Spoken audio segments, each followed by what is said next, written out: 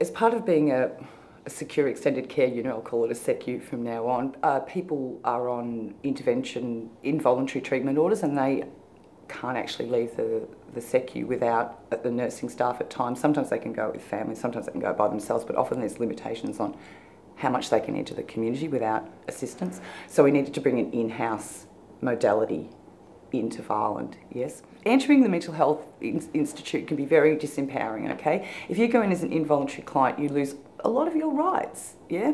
You, you, you least, least possible restrictive practice can be in a seclusion room if you're very, very unwell and, and a danger to yourself and others. That's the Mental Health Act, okay? So it can be very disempowering. People lose their, their position within society, they lose identity, they lose relationships because they because of what's happened to them and how they're presenting and also simply because they've been in a mental health institution.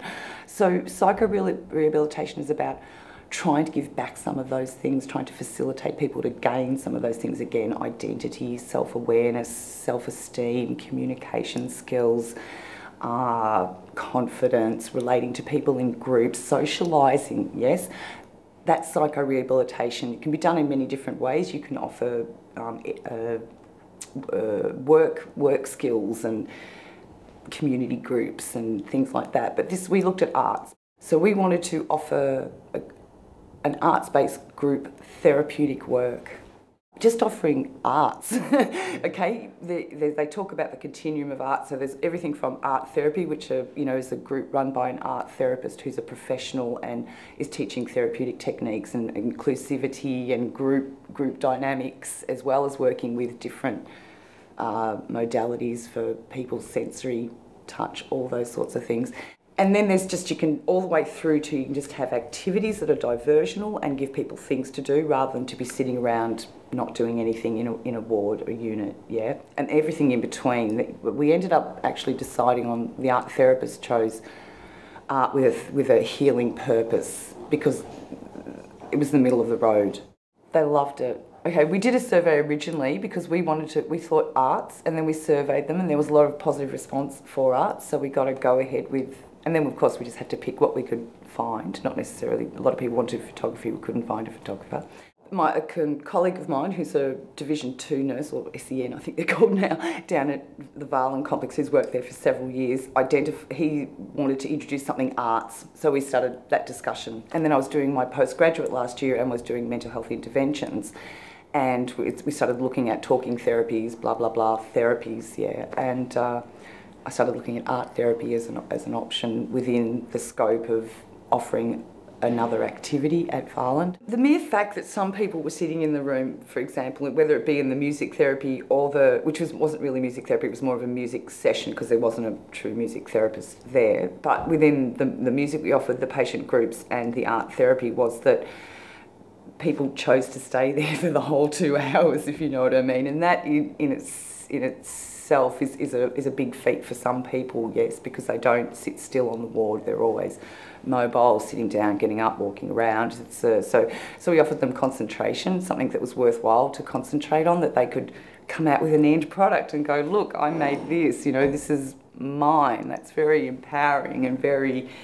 Uh, it's not psychopathology either. It's you know, it's my artwork. It's a real object that people can relate to. You know. But the other things we offered, the film, that was more of a art as a diversional therapy where we where we would bring it in every Friday. We would bring popcorn out. We would sit down. A lot. I volunteered a lot of time there to go and just put the movie on and have the clients there and would watch the movie we'd be making comment during the movies trying to ascertain people's feelings and maybe what how they could relate to the film on a personal basis. We also tried to normalise it, like a normal Friday night with popcorn and everyone sitting around talking, eating and watching a film. They loved it. It also created a lot of time for staff to be able to do extra paperwork and and sit down and sort through other things on the ward because the people were occupied and they were fruitfully occupied. They really enjoyed it. Uh, the art therapist Sun Leinster, she put out a survey for the clients and it was asking basically if they enjoyed it, would they like to do it again, what did they like the most. There was, all of them loved it.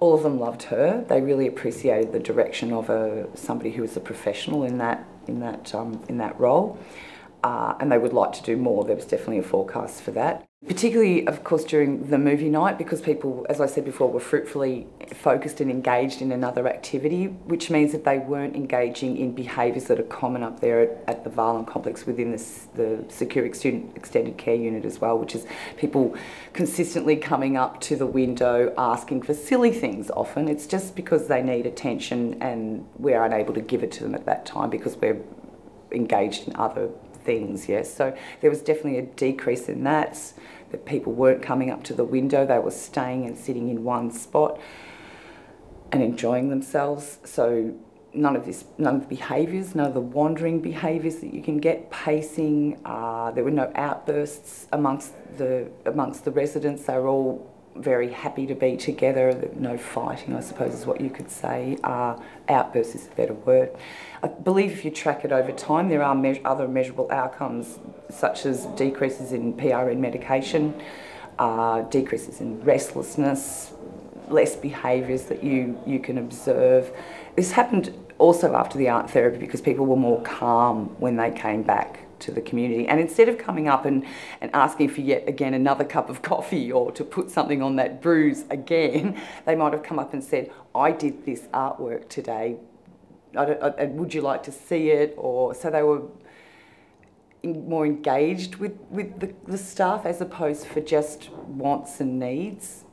Uh, and it was only a 10 week project. That's why, really, the evidence base for particularly art therapy is at least a minimum of six months, okay? So we, that's why we want funding to do another program of at least six months to see if it actually will assist people into the community and but it, skills that were necessary to live in the community successfully were being enhanced over that short period of time. That's one of the outcomes. So can you postulate that for on a six month, 12 month basis? Possibly, but it, yes, it's not correct scientifically to do it right now.